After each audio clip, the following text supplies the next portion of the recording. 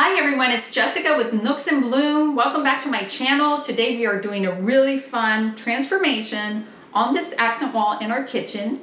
If you recall, I had put peel and stick wallpaper up and it has been beautiful. I have really enjoyed it, but I get itchy for a new look and I've also been inspired by my friend Chelsea from Montero Manor. She does some amazing faux effects using paint and other products you should follow her account on Instagram. She's really talented. I am going to try to follow her lead and do a wall using salt wash and paint, maybe some other techniques to create a stone kind of exposed brick without the brick, just kind of a European, vintage, old, rustic stone wall without it being stone. So stay with me. I'm going to take down this wallpaper and the shelving and get started. I'll be right back. Hi everyone, I'm back and I have now stripped the wall of the wallpaper. It was very easy to take down peel and stick wallpaper and I've taken my shelving down and I'm ready to start painting. So as you can see, the wallpaper pulled out some, pulled off some of the paint, but I'm going to work with that because I think that'll be really cool texture. So what I'm going to start with are my undertones because to create this exposed brick or stone wall, you're going to need layers. So I am going to do that with some paint colors. I'm going to start an experiment with two colors. First, I have this very rich, pretty gray, which is called Antique Tin by Behr.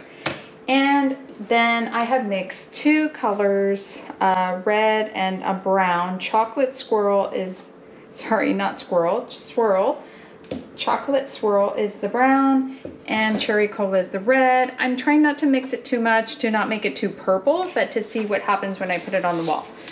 Here we have the salt wash. The salt wash, this is my first time trying it, but I have seen some colleagues do it and it just works amazing. So as you can see, it's like a powdery consistency and it kind of feels like talcum powder a little bit. And it's um, a pretty big jar. I think this will be enough for my accent wall. So what I'm going to do is take a Dixie cup and I'm going to start mixing. This is about maybe half a cup of paint. I'm going to just estimate close to half a cup and I'm going to mix this together.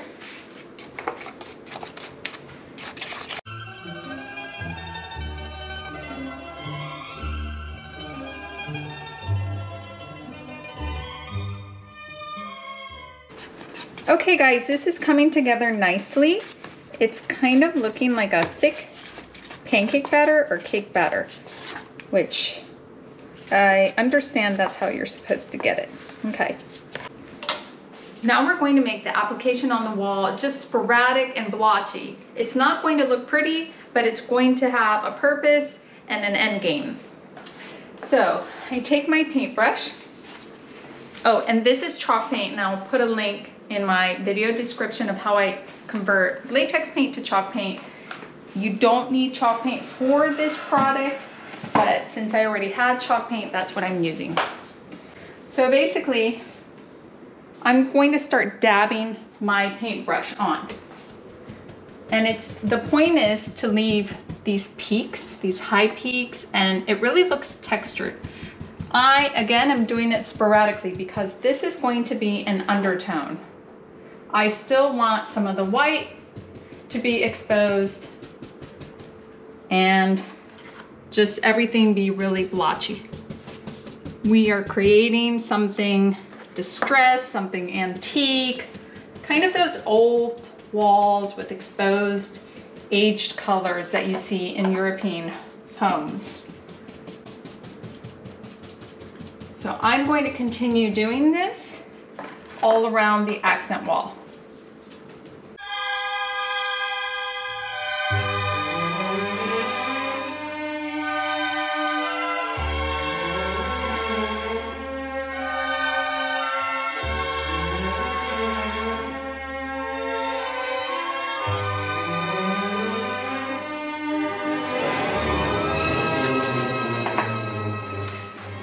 Okay, so now that I have my gray on, as I told you, it's going to look really messy, really choppy, but it will come together. Now I'm going to do the next color, which is kind of like a reddish brown. I'm only using a little bit, so I'm going to put just a little bit of the salt wash in it and mix it up. Okay, I'm only going to use a little bit of this. I don't need as much as the gray. It's not going to be such a pronounced undertone. It's gonna be just highlights. So I get my brush and I start dabbing away.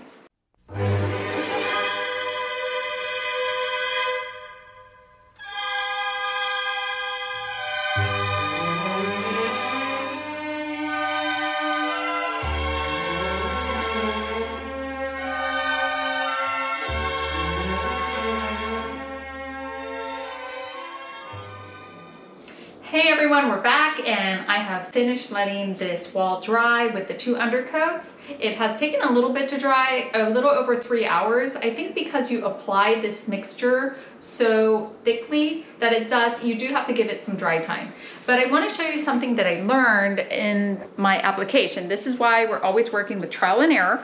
With this salt wash that I mixed into my paint, on a vertical wall, it will start to drip as you can see like right there and other parts where it just kind of sagged and did not stay in a peak form. So basically, I think that that has to do with the consistency. What I'm going to do now is I'm going to try to sand and see what this does because I don't know if I have enough peaks for it to come off but I'm going to give it a try. And if not, that's okay. It'll still be kind of a textured underlayer, which is what we want. So let's give this a try. I do think this is going to be messy with sanding debris everywhere, but that's okay. That's part of the fun of getting your hands dirty.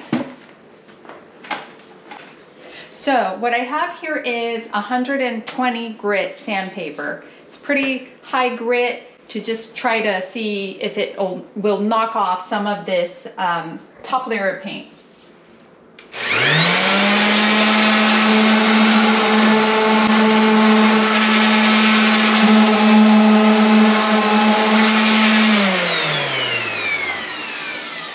Okay, so this is working. I want to show you what happens here. So you see the white exposed in these little dots. That's what we want to see because that makes it look aged and distressed. Of course, it's not looking glamorous right now, but we want the paint structure to kind of deteriorate.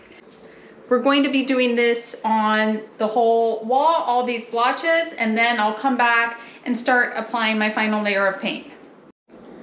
Okay guys, so this looks pretty cool as far as this product really just opening up those blotches of paint to expose the white underneath. That means that we can create the same look on the top coat. But instead of exposing the white, it's going to expose the under colors, which is what we want. It's going to expose them very, very minimally, but that is going to create the stone wall look. So what I've done now is make my batch of this off-white color. It's called Meeting House White by Glidden. And it's the color we have in our kitchen originally, but I am going to use it as my top coat to um, create this look. However, I have made it a lot thicker than the first batch. I added a lot more of the salt wash and just look at this gooey yumminess. I mean, it pretty much holds on there and I think that will work a lot better. Look at this stir stick. It almost just sits in there. So I think that this is going to work much better. So I'm gonna start applying it and let me show you what the results will be with this consistency. So again, we take our paintbrush.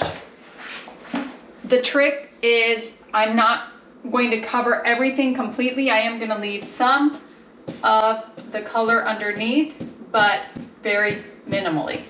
So take a look at these peaks. That's what you want to see. You want to see those peaks nice and hard and that is going to make it look later like just aged European stone. See, that's pretty cool. Later we'll just knock off those peaks a little bit but I actually like them too. I might leave some. So I'm going to do this on the entire wall. Just going to continue to apply. And I'm just, I'm going to play with this technique. So, oops, I just covered a hole, a screw hole for the shelves.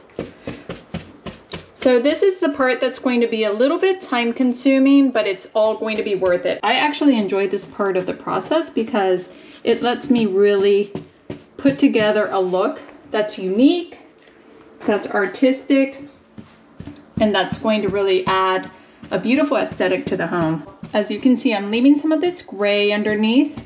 I'm trying to raise the level of this white by just making it, applying it really thickly and I'm leaving some of the red.